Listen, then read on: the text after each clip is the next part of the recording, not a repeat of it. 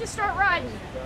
Well, ma'am, uh, I started riding. I bought my first motorcycle in 93. I started riding just because all my friends had motorcycles. Have you ever had any close calls? Yes, ma'am. I hit a deer two years ago, uh, and it wrapped the engine guard around my leg. And then what happened? I threw my bike sideways. Uh, I managed to stay up on the motorcycle and then ride off to the shoulder of the road. My son, who was riding behind me, he was scared. He refused to get on the motorcycle again after that because he thought for sure he was going to see me go down and skid across the road and either die on the road in front of him or he would run me over and kill me. Wow. But you're still riding, right? Oh, yes, ma'am.